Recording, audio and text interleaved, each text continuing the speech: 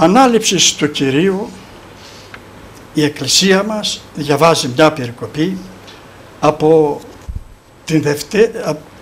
από την... το πρώτο κεφάλαιο πράξης των Αποστόλων στίχη 1 έως 12. Το μεν πρώτο λόγο ποιησάμι περί πάντων ο Θεόφιλε, όν ήρξε το Ιησούς πίντε και δάσκεν. Άχρη εις ημέρα συντελάμνος της Αποστόλης διαπρέματος Αγίου, ως εξελέξωτο ανλήφθη. Εις και παρέστηση αυτόν ζώντα μετά το παθήν αυτόν εμπολής τεκμηρίης διεμερών τεσσαράκοντα οπτανόμενος αυτής και λέγον τα περί της Βασιλείας του Θεού. Και σαν ελιζόμενος παρήγγειλε αυτής από Ιερουσαλήμ μη χωρίζεστε αλλά περιμένει την Ευαγγελία του πατρός μου είναι μου. Ότι ο Ιωάννης με ανεβάπτισεν είδατη εμείς δε βαπτισίσταστε εν πνεύματι Αγίο ου μετά πολλά σταύτας ημέρας. Εμέν ον συνερθόντες σε πρώτον αυτό λέγοντες «Κύριε, ή εν το χρόνο του αποκαθεστάνει στην βασιλεία του Ισραήλ». Είπε δε προς αυτούς «Όχι μόνο στιγνώνε χρόνος ή καιρούς, ούσο πατήρ έθετο εν τη ιδία εξουσία, αλλά λείψεστε δύναμη επεθόντος του Αγίου Πνεύματος εφ' και είσαστε με μάρτυρες εν τη Ιερουσαλήμ και εν πάση τη Ουδαία και Σαμαρία και εν πάση και ως εσχάτωτε ζεις. Και ταύτα λοιπόν βλεπόντων αυτόν επήρτη και νεφέλη πέλαβεν αυτόν από τον οφθαμόν αυτόν. Και όσα ατενίζοντες ήσαν στον ουρανό παροβμένο αυτό και δύο άντρες δύο παρεστήκεσαν αυτοί σε νεστή τη λευκή ή και είπαν. Άντρες Γαλαίοι, τι εστίκατε βλέποντες εις τον ουρανό, ούτως ο Ιησούς ο αναληφθής αφημών εις τον ουρανό, ούτως ελεύσετε όν τρόπον εθεάσαστε αυτόν πορευόμενοι στον ουρανό. Τότε πίστεψαν εις Ιερουσαλήμ από όρους του καλωμένου ελαιώνας, ο εστίν εγγύς Ιερουσαλήμ, Σαββάτου έχουν οδόν. Εδώ θέλω να δούμε δύο σχόλια. Πρώτον, ο Ευαγγελιστής Λουκάς έγραψε το τρίτο Ευαγγέλιο, δηλαδή το Καταλοκάνο. Έγραψε και το βιβλίο των πράξεων των Αποστόλων. Και στο Ευαγγέλιο ο Λουκάς αναφέρει με πάσαν την λεπτομέρεια της ζωής του Χριστού. Αναφέρει παραδείγματος χάρη στην αρχή την γέννηση του βαπτιστού Ιωάννου. Μετά τη γέννηση του Χριστού αναφέρει την βάπτιση του Χριστού, αναφέρει τους τρεις πειρασμούς του Χριστού, αναφέρει στη συνέχεια επιτόρους ομιλία, έπειτα αναφέρει τα θαύματα που έκανε ο Χριστός και τις δασκαλίες. Και τέλος αναφέρει ο Ευαγγελιστής Λουκάς τον σαυρικό θάνατο του Χριστού και την Ανάστασή Του, την ταφή Του, την, την Ανάστασή Του και τις εμφανίσεις του Χριστού και τέλος αναφέρει και την ανάληψή Του στον ουρανό Του. Αναφέρει όμως ο Ευαγγελιστής Λουκάς εδώ και μερικές παραβολές που οι άλλοι τρεις Ευαγγελιστές δεν τις αναφέρουν. Παραδείγματος χάρη αναφέρει την παραβολή του καλού Σαμαρίτη, την παραβολή του άφρονος προσίου, την παραβολή του μεγάλου δείπνου, την παραβολή του ασώτου Ιού για το χαμένο πρόβατο, για τη χαμένη τραχμή, την παραβολή του πλουσίου και φτωχού Λαζάρου, την παραβολή του αδίκου Κριτού, την παραβολή τελώνου και Φαρισαίου. Όλες αυτές οι παραβολές που αναφέρει ο Λουκάς, οι άλλοι τρεις δεν τις αναφέρουν. Αναφέρει ακόμα ο Ευαγγελιστής Λουκάς και μερικές άλλες περικοπές που άλλοι Ευαγγελιστές δεν τις αναφέρουν. Αναφέρουν παραδείγματος χάρη μια περικοπή που γράφει ο Ευαγγελιστής Λουκάς του 7ο κεφάλαιο, 36-50 στίχους, που εκεί μια γυναίκα ματρή που ήταν πόρνη έλειψε με μύρο τα πόδια του Ιησού. Και αυτή την περικοπή τη γράφει ο Ευαγγελιστής όταν άρχισε ο Χριστός να κηρύξει το Ευαγγέλιο και την αναφέρει ο Ευαγγελιστής Λουκάς λίγο μετά επί του όρους ομιλία. Αναφέρουν και οι άλλοι τρεις Ευαγγελιστές, ο Μαθαίος, Μάρκος και Ιωάννης, μια άλλη γυναίκα που λίγο μετά το σαυρικό του θάνατο έλειψε και αυτή τα πόδια του Ιησού. Δηλαδή τη Μεγάλη Πέμπτη έλειψε και αυτή τον μεμύρο του Ιησού. Και αυτή η γυναίκα δεν ήταν αμαρτωλή, ήταν η αδελφή του Ραζάρου, η Μαρία, όπως την παρουσιάζει ο Ευαγγελιστής Ιωάννης, αλλά συμφωνούν όμως μαζί με τον Ιωάννη και οι άλλοι δύο Ευαγγελιστές Μαθαίος και Μάρκος. Αναφέρει στη συνέχεια ο Ευαγγελιστής Λουκάς και την θεραπεία της συγκινητούσης γυναικός που οι άλλοι δεν την αναφέρουν.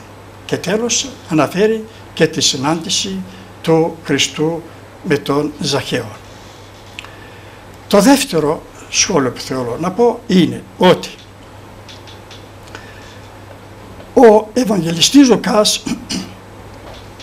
έγραψε την ιστορία της Εκκλησίας, το βιβλίο του πράξεων των Αποστόλων και αναφέρει από την ανάληψη του Χριστού για την πρώτη κοινότητα που ήταν 120 πρόσωπα μετά την ανάληψη του Χριστού.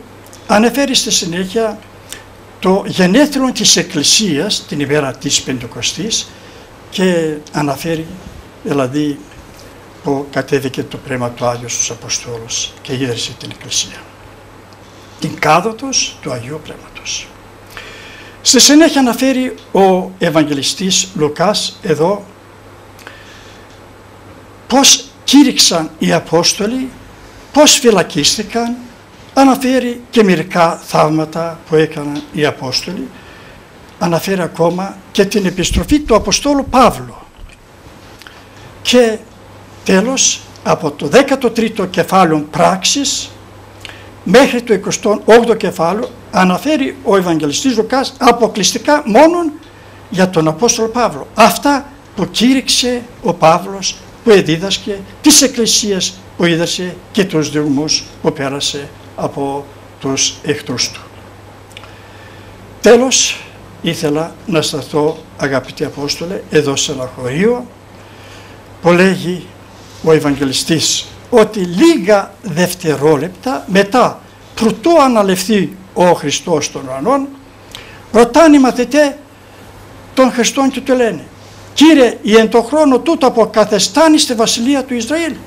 Αυτός τους είπε «Ούχε μόνο στιγνώνε χρόνους και καιρούς, ούσο πατήρ έφετο εν τη διεξουσία». Δεν είναι δική σας δουλειά να μάθετε αυτά που έκανε ο πατέρας μου, τους χρόνους και τους καιρούς. Είναι εδώ σαν να τους μαλώσει.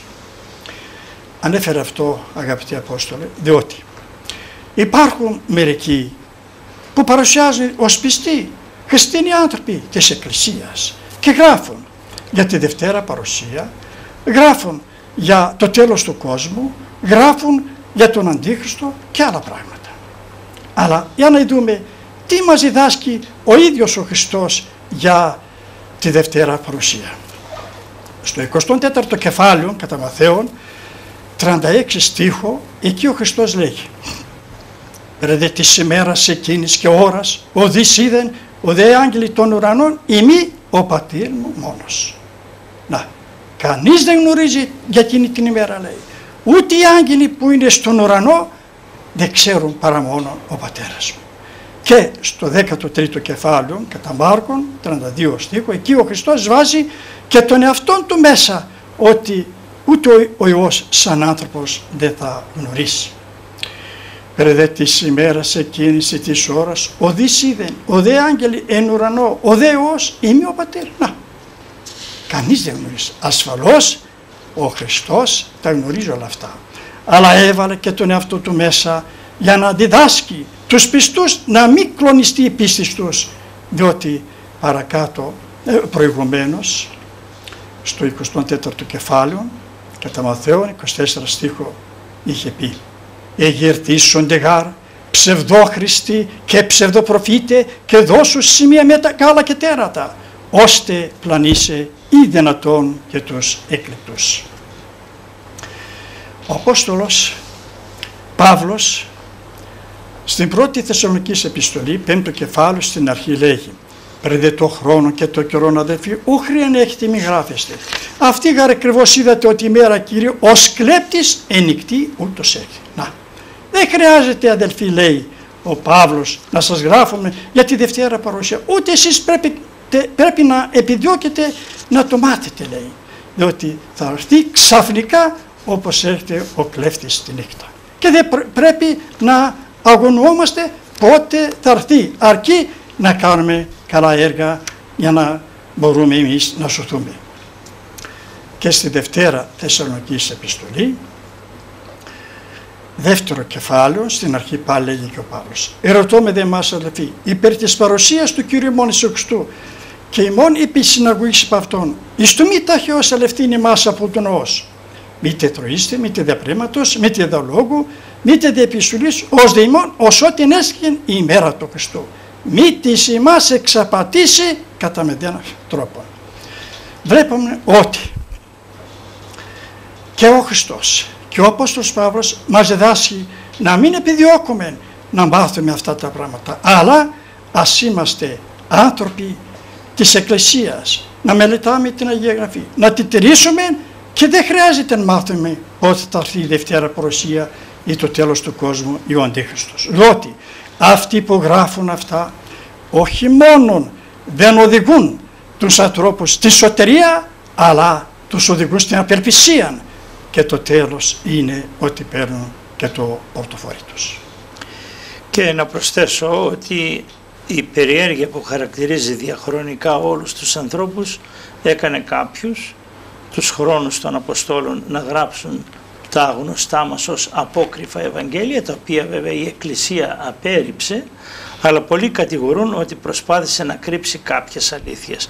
Φυσικά δεν είχε κανέναν λόγο να καθίσει, να χάσει χρόνο ο πιστός για να αντιγράψει αυτά τα Ευαγγέλια, τα οποία βέβαια σώθηκαν ή κάποια από αυτά και σήμερα είναι στη διάθεση όποιον θέλουν να τα μελετήσουν, αλλά η Εκκλησία θεωρεί ότι είναι απλώς χαμένος χρόνος να μελετούμε τα Ευαγγέλια τα οποία είναι ψευδεπίγραφα και έχουν αποκλειστεί λόγω των χαρακτηριστικών ψευδών που περιέχουν μέσα. Γι' αυτό άλλωστε και τα απέρριψε επειδή είναι γεμάτα από ψεύδι.